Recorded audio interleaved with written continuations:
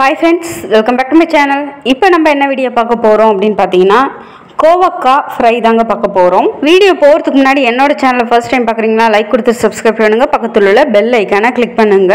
இப்போ வாங்க வீடியோக்குள்ளே போகலாம் இந்த கோவக்காய் பார்த்தீங்கன்னா நிறைய ஹெல்த் பெனிஃபிட்ஸ் நிறைந்த ஒரு வெஜிடபிள் மற்ற காய்கறிகள் மாதிரி நம்ம இந்த காய்கறியை வந்து பொரியல் செய்கிறது கிடையாது. அதுதான் உண்மை.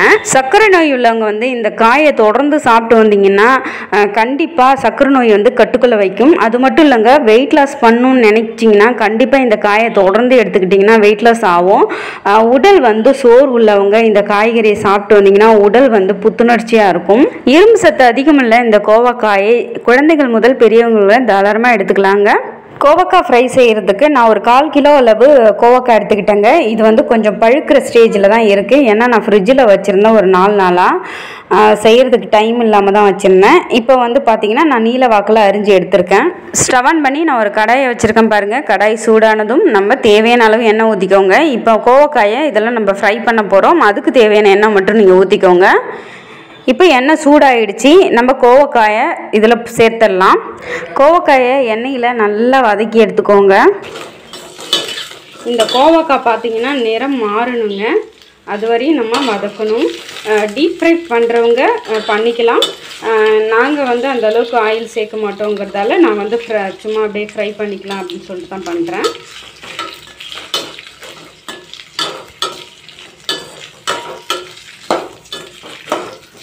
இந்த மாதிரி நல்லா வதக்கி விட்டுக்கோங்க. காய் நல்லா வதங்கிடுச்சு பாருங்கள் இந்த அளவுக்கு நல்லா வதக்கிக்கோங்க. இப்போ நம்ம வந்து இது வேறு பாத்திரத்தில் நம்ம ட்ரான்ஸ்ஃபர் பண்ணிக்கலாம். இப்போ நம்ம வேறு பாத்திரத்தில் கொட்டிக்க போகிறோம்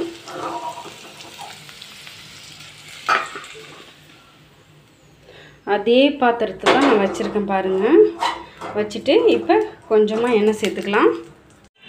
நான் ரெண்டு ஸ்பூன் அளவு எண்ணெய் ஊற்றிக்கிறேங்க எண்ணெய் சூடானதுக்கப்புறம் பெருஞ்சீரகத்தை நம்ம சேர்த்துக்கலாம். பெருஞ்சீரகமும் நல்லா பொரியுது பாருங்கள் அடுத்ததாக வந்து நம்ம வெங்காயத்தை ஆட் பண்ணிக்கலாம். நான் பார்த்தீங்கன்னா ஒரு நாலு சின்ன சைஸ் வந்து பெரிய வெங்காயம் அரிஞ்சு வச்சுருக்கேங்க. அதையும் சேர்த்து நல்லா வதக்கிக்கோங்க எண்ணெயில்.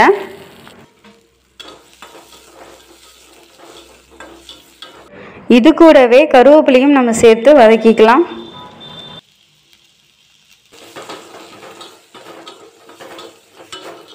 வெங்காயம் நல்லா வதங்கிடுச்சு. இப்போ பாருங்கள் இந்த ஸ்டேஜில் நம்ம என்ன ஆட் பண்ண போகிறோம் அப்படின்னு பார்த்தீங்கன்னா இஞ்சி பூண்டு தாங்க ஆட் பண்ண போகிறோம் நான் தட்டியிருக்கேன் பாருங்கள் இஞ்சியும் பூண்டையும் நான் தட்டியிருக்கேன். கொஞ்சமாக எடுத்துக்கோங்க. அந்த கோவக்காவுக்கு தகுந்த மாதிரி எடுத்துக்கோங்க.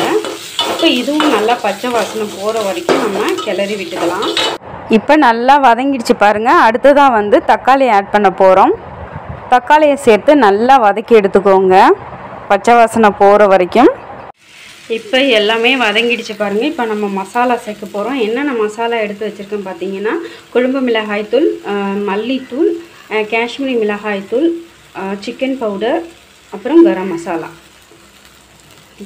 இப்போ எல்லா மசாலாவும் அது கூட நல்லா வதக்கி விட்டுக்கோங்க. நல்லா பச்சை வாசரம் போகிற வரைக்கும் நல்லா வதக்கி விட்டுட்டு இது கூடவே பார்த்திங்கன்னா நம்ம கோவக்காவையும் ஆட் பண்ணிக்கலாம். கோவக்காவை இப்பயே ஆட் பண்ணால் தான் அந்த மசாலாலாம் வந்து கோவக்காய் கூட நல்லா மிக்ஸ் ஆகி சாப்பிட்றதுக்கு ரொம்ப டேஸ்டியாக இருக்கும். அதனால தான் இந்த ஸ்டேஜ்லேயே நம்ம வந்து கோவக்காவை ஆட் பண்ணுறோம் இப்போ மசாலா வந்து நல்லா கோவக்காய் கூட ஏறிடுச்சு பாருங்கள் நல்லா மிக்ஸ் ஆகிடுச்சு இது கூடவே நம்ம வந்து சால்ட் ஆட் பண்ணிக்கலாம். இது பாருங்க நான் ரெண்டு ஸ்பூன் அளவு நான் உப்பு போட்டுக்கிறேன்.